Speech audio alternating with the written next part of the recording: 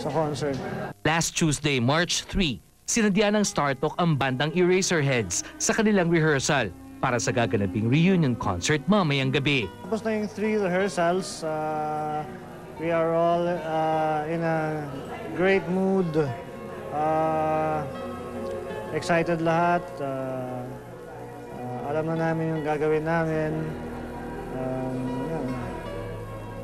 Kulang na lang audience. Sa ngayon, uh, maganda pakaramdam ko. Uh, excited ako. At, uh, so far, uh, I'm feeling uh, great physically. Mentally din, spiritually, emotionally, lahat-lahat na. Malapit na magkaibigan ng frontman ng Eraserheads na si Eli Buendia at ang namayapang si Francis Magalona. Halos sabay din silang dumaan sa matinding pagsubok noong nakaraang taon.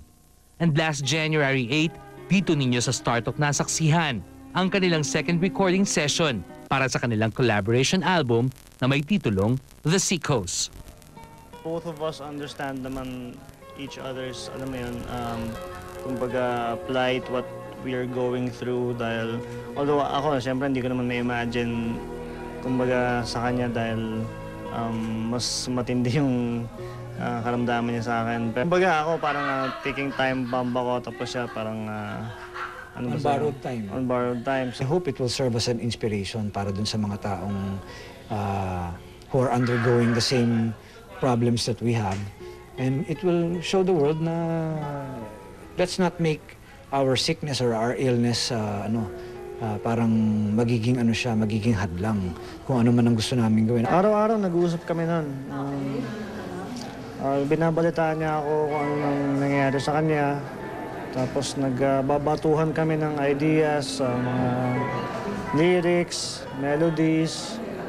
Uh, nagpa- tatrabaho pa rin kami kahit nasa hospital na siya. eh. Supposedly, uh, nung Valentine's, yung labas dapat niya. Pero um, ngayon, indefinite pa eh.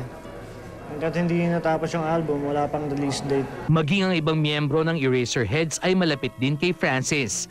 At noong nakaraang Martes, tatlong araw bago pumanaw si Kiko, binalak pa raw ng master rapper na pumunta sa kanilang band rehearsals. Hindi siya makakarating personally because confined niya siya sa ospital. Cheerful pa rin si Francis and al- always optimistic. Dapat ah, pupunta siya dito eh for the final rehearsals. Pero nagkataon, ah, he had to go back into confinement kasi ah, meron, an- may mga treatment ulit siya for his ano, leukemia, mga chemotherapy sessions Special guest sana ang master rapper sa nasabing reunion concert. Kung alam niyo yung kantang Super Proxy, siya yung nag-rap sa dulo noon and that was supposed to be yung surprise. Hindi na nga umabot si Francis M sa concert ng Eraserheads mamayang gabi. Pero isang mensahe daw ang iniwan sa kanila ni Kiko. Sabi niya sa akin na good luck na lang daw and he, he will be there in spirit sa concert. Mm.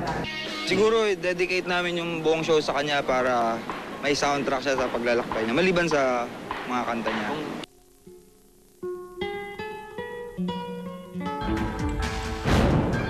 Up next, Mark Anthony Fernandez, pinakiusapang muli ng inang si Alma Moreno na ihatid